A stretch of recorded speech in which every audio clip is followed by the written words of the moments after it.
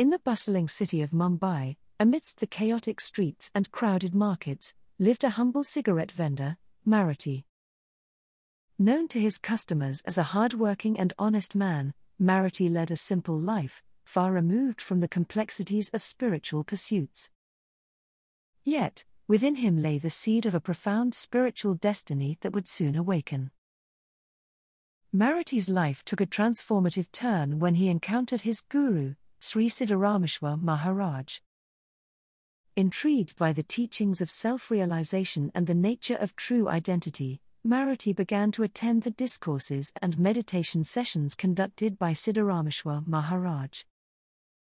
The Guru's words resonated deeply within him, igniting a spark of spiritual curiosity that he had never felt before.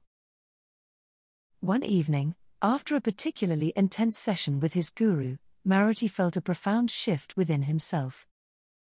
Siddharameshwar Maharaj had spoken about the illusory nature of the self and the importance of understanding one's true essence. As Maruti meditated on these teachings, a deep sense of peace and clarity began to emerge. Determined to delve deeper into this newfound understanding, Maruti dedicated himself to intense spiritual practice.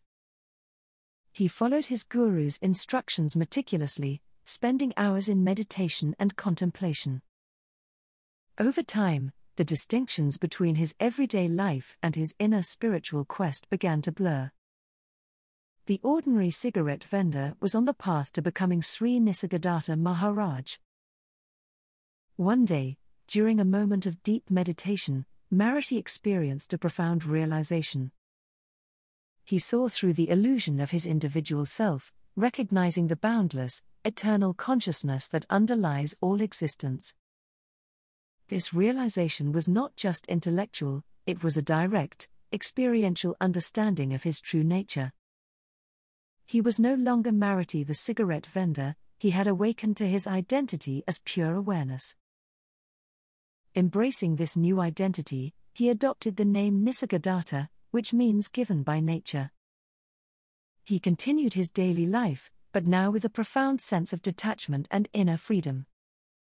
His small apartment in Mumbai became a beacon of spiritual wisdom, attracting seekers from all corners of the world. Nisargadatta Maharaj's teachings were direct and uncompromising. He emphasized the importance of self inquiry and the recognition of one's true nature as pure consciousness. In his presence, many experienced deep insights and transformative realizations.